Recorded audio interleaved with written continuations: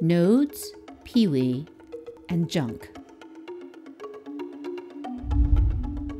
How might a differentiating cell know which RNA is self? Other? Will I be a neuron? A muscle cell? What RNA here is junk? Okay, I hypothesize that different cell types have different RNA networks, defined by unique RNA Pol II pauses, or nodes. So then, what might cause an RNA Pol II to pause and become a node during cell differentiation? In a germ cell, the answer is pi RNA, but let me take you there.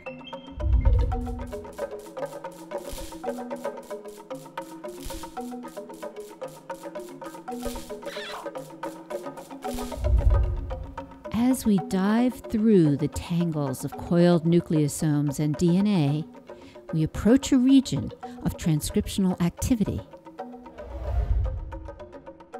Here is a place in the nucleus where the local environment of proteins and ions has relaxed the chromatin structure. At a transcription start site, for example, DNA wraps loosely around nucleosomes whose histone tails have been modified, in this case by a cloud of DNA bound activating proteins. These nucleosomes roll and DNA unspools. RNA Pol II begins RNA synthesis. Suddenly, they hit a blockade of stalled nucleosomes. Elongation stops. Two things are missing the activating protein PTEFB and activated rolling nucleosomes. This is the point in my model where nascent RNAs are released like unique little flags. But again, why specifically here? Standard epigenetics.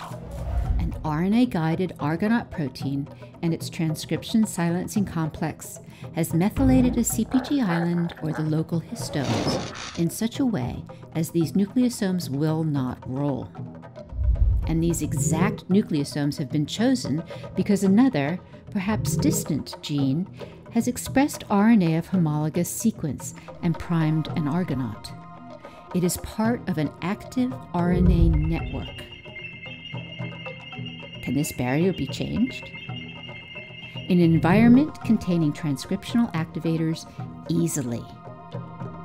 The distant gene stops expressing homologous RNA. The local environment is generally activated. And when the Argonautes dissipate, now this exact spot has been turned on.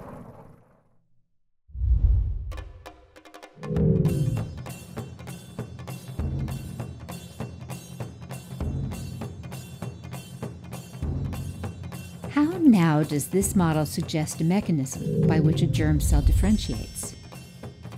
Amazingly, in germ cells, almost all the nucleosomes are loose and rolling due to hypomethylation of the histones. DNA that has been hidden in coils is now revealed, and novel RNA is being made.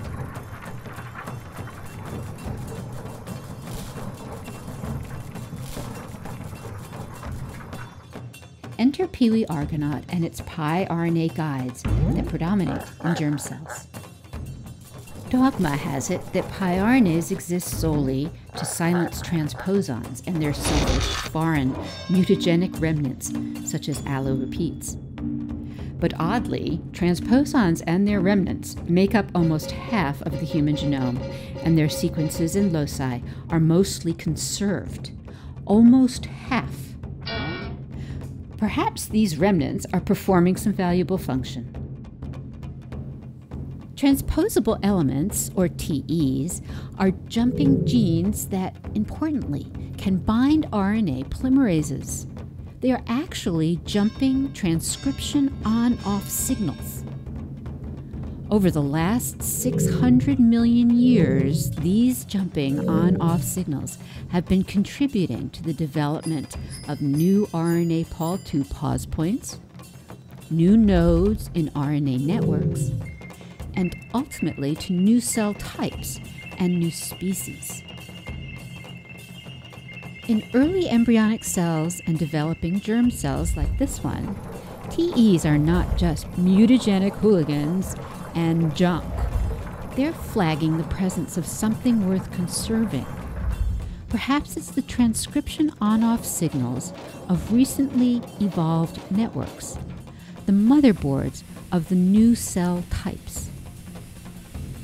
To return to being a basic dividing cell, there's global demethylation and TE remnant release so that all this newly evolved DNA can be easily identified by piRNAs and then silenced.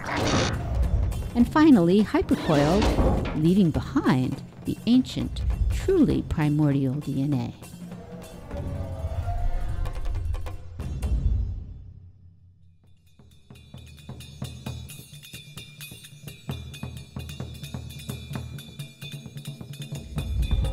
Now we can take the last remarkable step. How might a mother cell transfer information? Well, differentially.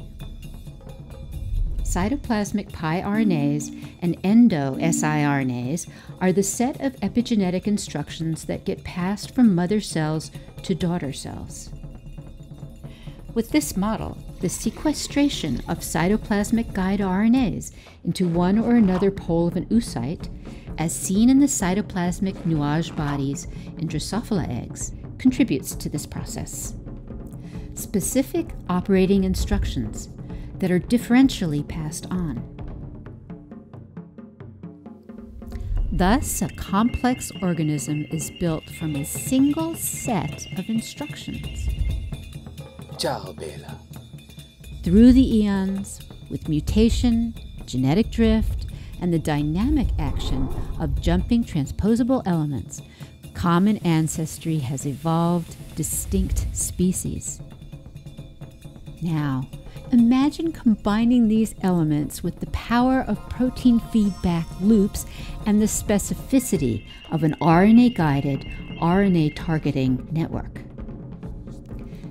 Then, the astonishing diversity of life evolving from just four nucleic acids seems like a perfectly reasonable possibility.